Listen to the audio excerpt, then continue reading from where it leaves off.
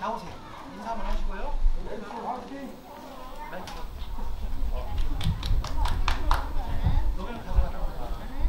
안녕하세요. 세월이 병원의 이사 황상변입니다.